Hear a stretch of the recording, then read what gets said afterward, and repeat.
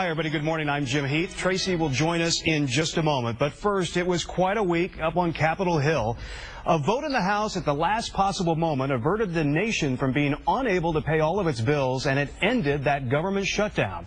The previous sequester, however, remains in effect. The president said there were no winners, but clearly the polling shows that a majority of Americans blamed Republicans for the chaos, and the internal debate over tactics employed by the GOP has started. Joining us now, Republican Congressman Pat Tiberi from Ohio's 12th District. Congressman, good morning. Good morning.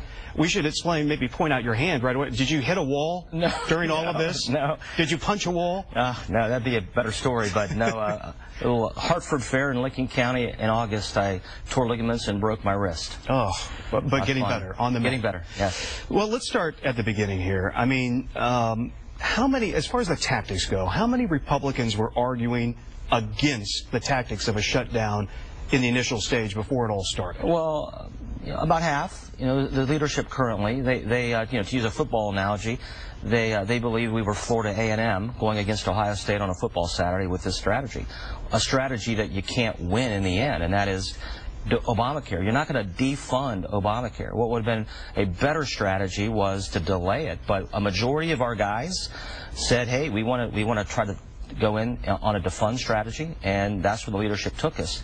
But I will tell you this: the, the difficulty and the frustration on my part is there's a, a, lot of there's a lot of blame to go around, as the president said, and I could blame Ted Cruz's strategy as I have because you can't defund Obamacare. Expectations are out there that you can, you can't. But the president did not negotiate, would not negotiate would not negotiate at all. It's all optics. But is that and fair? that's what because united once you us. attach, oh, it's very fair. Once you attached Obamacare to it, I mean, Right. we did have a national referendum on that issue Sure. and others last November. He won re-election, and all of a sudden, No when Ted Cruz says, "Look." Right. This deal is going to have to include the, the funding of Obamacare, the president's signature legislation. No. Then right out of the gate, it's it's a no deal. But but there's a negotiation process.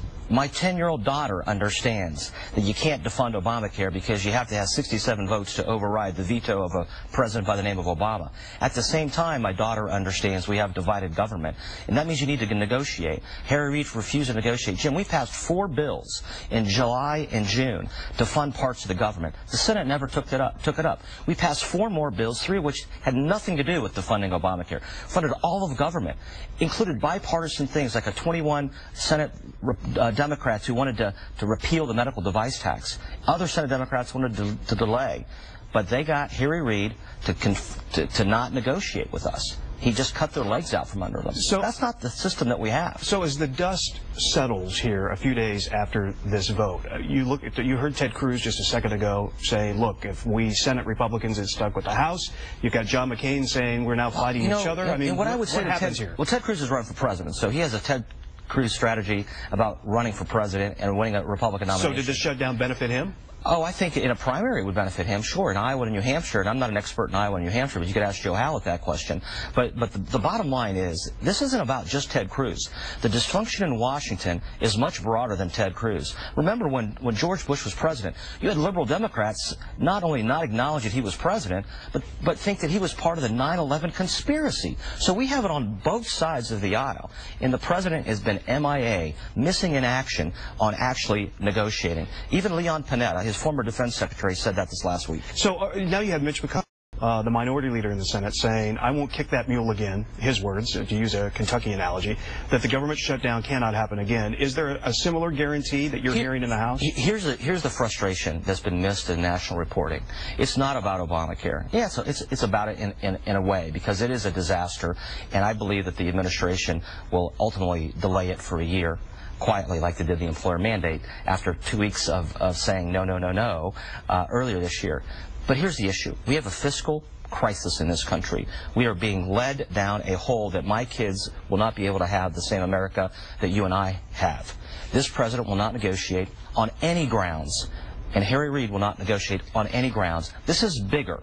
And that's the, So that's the fight. In that answer, then the Mitch McConnell. So is that is, is that the loophole then that come January we might find ourselves right back? We in are the middle of trying every responsible way to get them to come to the table. The president's been about optics and not a bit, not about reality because he thinks he can take the House back.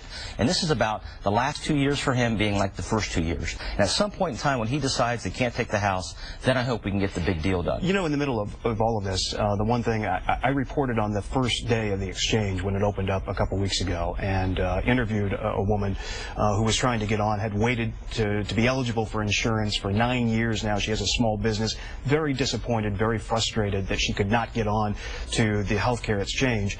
Uh, do you look at the, in reality, had the shutdown not occurred, that probably would have been the driving, the focus on Obamacare and the reality of that that uh, web Yes. website that was falling probably question. would have been center stage. Many of us argue that internally. Uh, and so did that fight? I mean, were you having that fight all along, or once you started this this strategy and the government shut down, did you feel like, uh, as a team player, that was the strategy and Well, the team, what it the, going to be? the speaker is in the minority, right? He's got to negotiate with two other people. We are not in the minority. We control one house. And so when the play was called, because the majority of our, our members wanted to, to, to do this first, then we as a team, unified, are much stronger than we're then we're divided, right? And so at the end of the day, at the end of the day, um, you, you saw all this splintering because uh, you know, we had a lot of different ideas on tactics. Is that Tea Party caucus, are they manageable going forward? They're not monolithic. I mean, they're, they're not monolithic at all. There are members of the Tea Party caucus, by the way,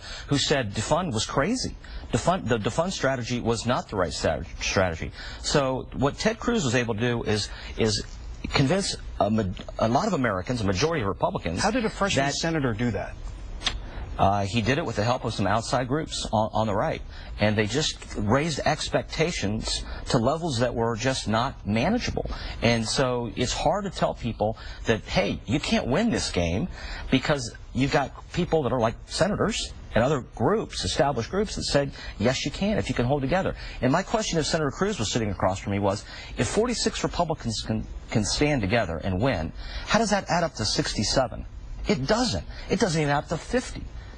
That's the difficulty. We're out of, Congressman, we're out of time, but let me just ask you, do you see him front and center uh, as we get into the new year and we p- perhaps face this challenge again? You know, I, I, I'm hoping that a majority of us now, because I think, I think there is a majority of us in the House now th- that, that believe the strategy was wrong. And there wasn't at the beginning, by the way. And I think thinking with that and, and senators, we can convince the American people and Republicans and conservatives and Tea Party folks that defunding isn't going to happen. You need to win elections. Congressman, good to see you. Thank as you. always. And get that uh, hand healed Yes. quickly. Thank you. Thank you. Uh, there's been a lot of criticism, as we all know, directed